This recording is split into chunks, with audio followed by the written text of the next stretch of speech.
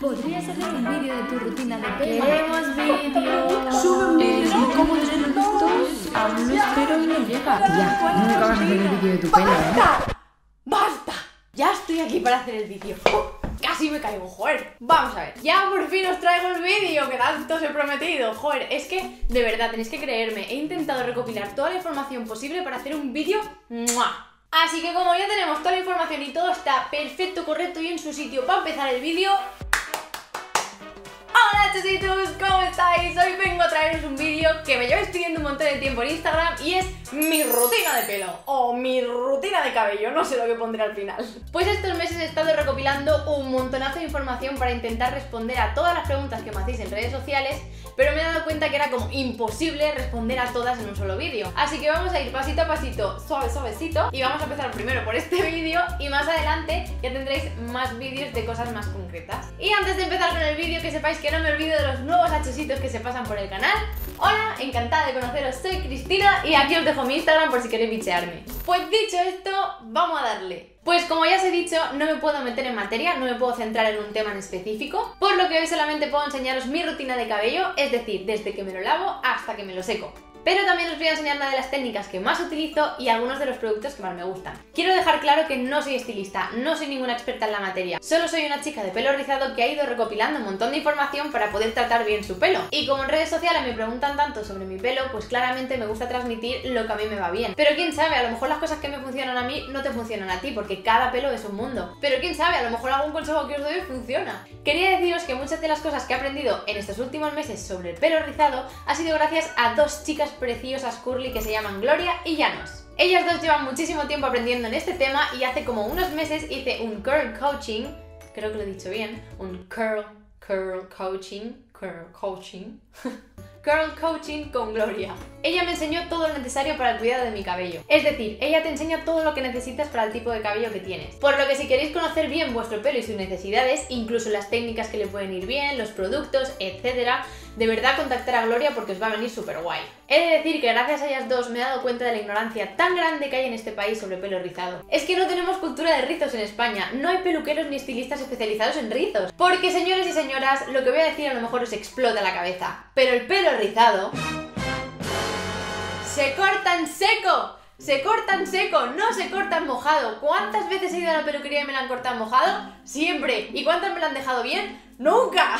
Así que estas dos supermujeres han creado una comunidad líder de rizos en España llamada Piña Rizada, donde a través de sus eventos y de sus redes sociales están ayudando a que haya mucha más información en nuestro país. Y además este marzo del 2020 van a empezar con las formaciones de peluqueros y estilistas para que tengan más conocimiento de cómo tratar el pelo rizado. Así que yo la seguiría y a Piña Rizada para estar al tanto de todo lo que sucede en el mundo curly. Así que, uff, así que dicho esto, empecemos con mi pelo. Primero de todo es súper necesario saber qué tipo de cabello tenemos, porque es súper importante saber cómo tratarlo bien. Mi cabello es del tipo 3B, con una densidad alta y una porosidad media. No os preocupéis si no tenéis el mismo pelo que yo, porque muchos de los consejos que voy a dar en este vídeo son generales. Y si tienes el mismo tipo de pelo que yo, pues seguramente muchos más consejos te van a funcionar. No os preocupéis si no entendéis eso de densidad, porosidad, tipo 3B, porque tengo pensado en un futuro hacer un vídeo específico solo de eso, para que podáis identificar bien qué tipo de pelo tenéis. Si tenéis curiosidad, me baso en el método Curly Girl. Es un método que se basa en utilizar productos sin sulfatos, sin siliconas y sin parabenos. Este método también dice que todos los productos que vayamos a utilizar post lavado se tienen que aplicar con el pelo mojado. También dice que a la hora de dormir debemos utilizar una funda de almohada de satén o un gorro de satén para evitar el encrespamiento y así pues al día siguiente estar perfectos. Además de decir que debemos cortar nuestras puntitas deterioradas cada cierto tiempo o que debemos limpiar nuestro pelo con champús sin sulfatos o directamente con acondicionadores. Yo utilizo unas 3 o 4 veces al mes unos champús que se llaman clarificantes. Estos champús solo los utilizo los días que me tengo que poner una mascarilla súper hidratante. Limpian el pelo en profundidad. Y con profundidad me refiero a que quita todos los aceites naturales del pelo, entonces lo deja desprotegido. Así que debemos asegurarnos de que apliquemos un producto que hidrate muchísimo para que no le pase nada al pelo. En verdad los sulfatos no son malos, lo que es malo es la frecuencia con la que los utilizas. Por lo que yo recomiendo que solo lo utilicéis si vais a empezar este método curly. ¿Por qué? ¿Por qué? Porque seguramente hayáis utilizado muchos productos con siliconas y la única manera de quitar la silicona del pelo es poniendo sulfatos.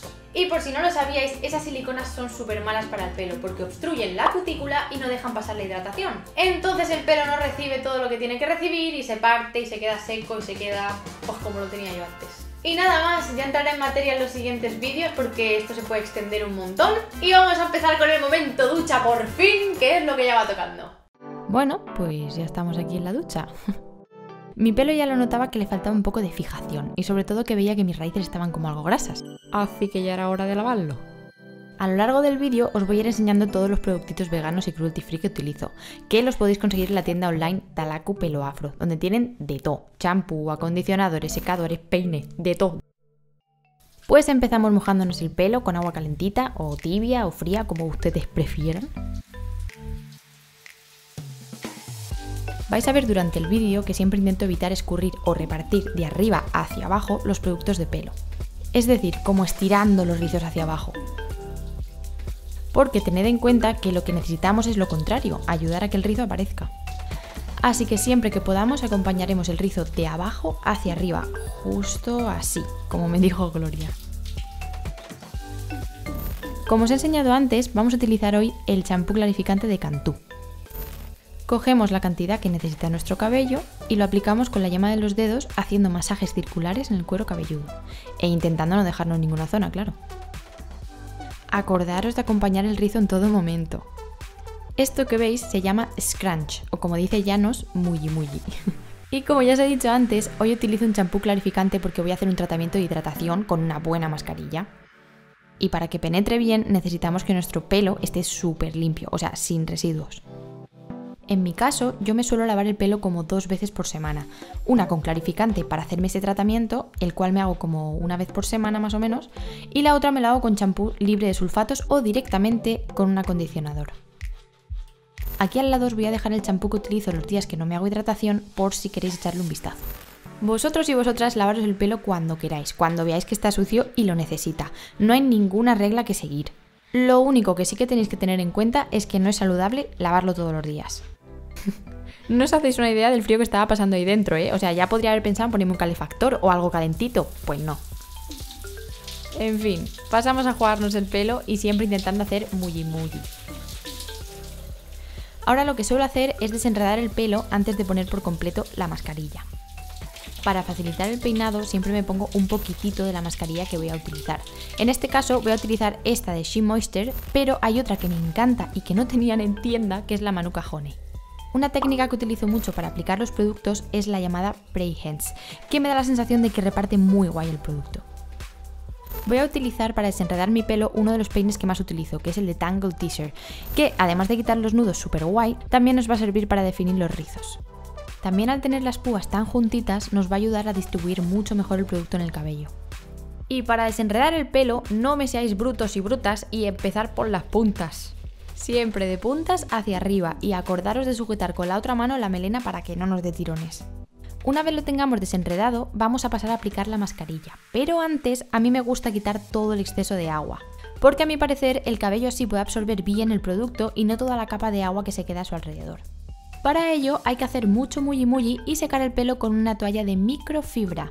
Sí, señores y señoras, olvidaros de las toallas de algodón normales de toda la vida porque las partículas de algodón se meten en las cutículas, las cuales ahora están súper abiertas y provocan que haya un mayor encrespamiento y deterioro del cabello. You know. No, no, de verdad, hacerme caso, que es que cuanto más finas sean las fibras, más agua absorbe la toalla y menos daño provocan. Así que microfibra, Vamos a pasar a poner la mascarilla y vamos a hacerlo como antes, con la técnica Pray Hands y haciendo muchísimo muy muy.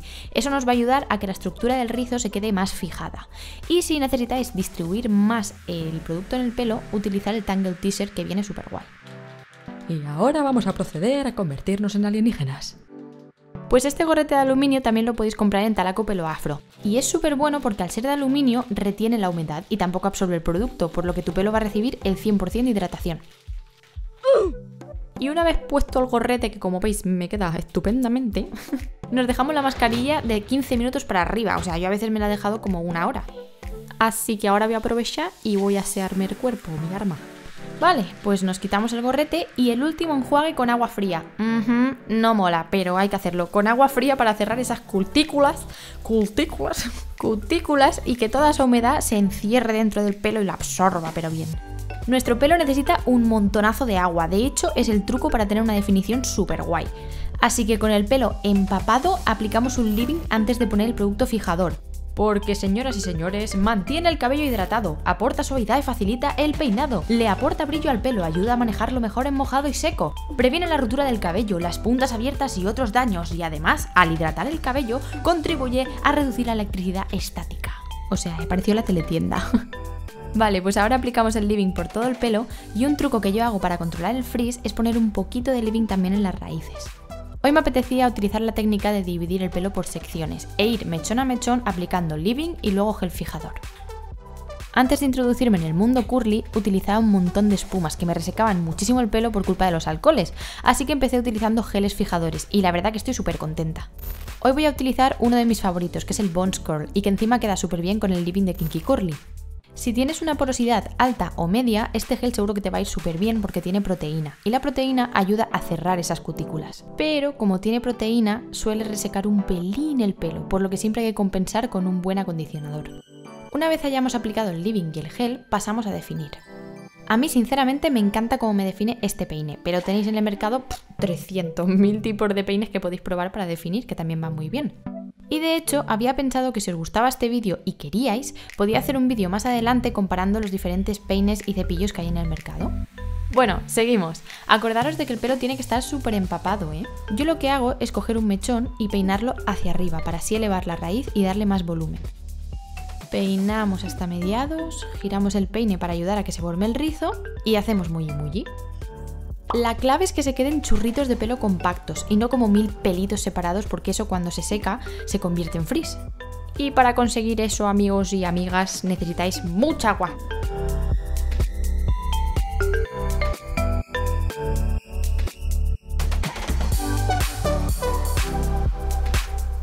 Una vez lo tengamos todo definido, hacemos mucho muy muy por todo el pelo. Y si veis que algún rizo no ha cogido mucha forma, podéis hacer rulitos con el dedo, que eso se llama finger coiling. Y llegó la hora de secar el pelo, amigos y amigas. Tened paciencia porque esto no lo soporta nadie. Yo utilizo mi difusor Belísima, que por mil razones os lo recomiendo. Primer paso, encendemos el secador. Pero a una potencia baja, ¿eh? Para evitar el frizz bajamos la cabeza y ladeamos hacia un lado. Esta posición viene súper bien para elevar las raíces y que tengamos más volumen. Además, la parte de atrás la puede coger bien el difusor y así no se queda planita o sin rizos. Debemos secar el pelo recogiendo el rizo desde las puntas hacia la raíz para que se encojan. Fijamos el secador en un punto e importante, aguantamos sin moverlo durante unos segundos y luego cambiamos. Es importante que cada 3-4 minutos vayamos girando la cabeza, porque así evitamos que se nos quede como un lado chafado y la parte de atrás sin rizo. Y sobre todo, importante, evitad tocaros con las manos el pelo durante el secado, porque puede aparecer frizz. Y aguantad todo lo que podáis hasta que se quede el pelo 100% seco, porque ya os digo que se nota muchísimo la diferencia cuando se queda al 90% seco y al 100%. Este difusor tiene un secado muchísimo más delicado que los convencionales, además tiene como un sistema antifreeze que reduce el efecto encrespado. Y como según pone en sus características, no daña el pelo como los convencionales, gracias a la combinación de flujo de aire y temperatura que emite. ¡Ole! Y que sepáis que no me han pagado por esto, ¿eh? Ah, y también podéis comprarlo en Talacupelo Afro. Una vez tengamos el pelo ya a lo león, os recomiendo que pongáis unas gotitas de aceite para proteger el cabello y para nutrirlo. Sí, efectivamente, aparte de hidratación, necesita nutrición y proteína. Y este aceite también viene muy bien para que no se quiebre el pelo cuando vayáis a separar los ricitos que quedan juntos.